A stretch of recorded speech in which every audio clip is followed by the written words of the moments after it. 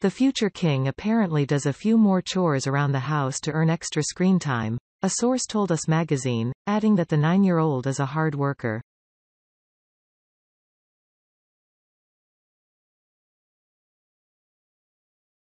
Responsible Prince George, who has just turned nine years old, does things that are familiar to all children, such as doing chores, and the young royal is rewarded for doing so.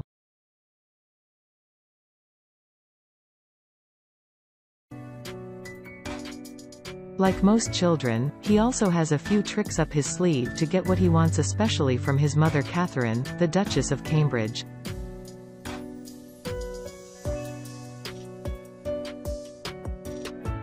The future king apparently does a few more chores around the house to earn extra screen time, a source told Us magazine.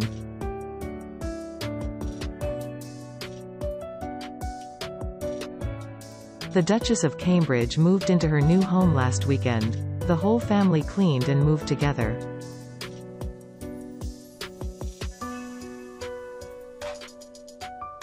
It's the normal life that Kate and William have always wanted. George was also said to be a hard worker and very much on top of his game academically and socially.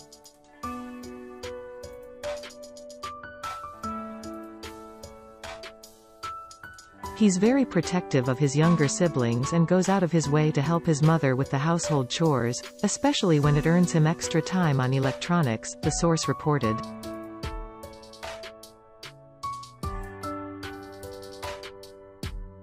Besides looking like the spitting image of his father, Prince George is very much a daddy's boy and they've got a ton of the same interests and hobbies in common, even helicopters.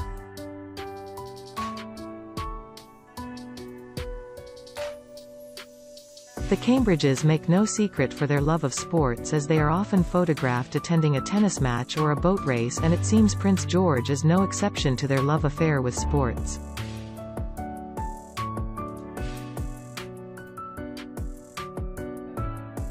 The prince loves football, an interest he shares with his father who has been open about letting his son choose his favorite team rather than influencing those decisions.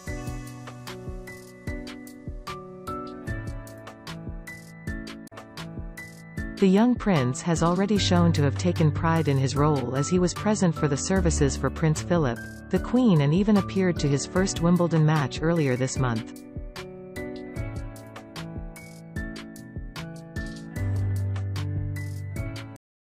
The Cambridge's first-born child turned nine on Friday, and Prince George's grandmother the Queen marked the day with a sweet message.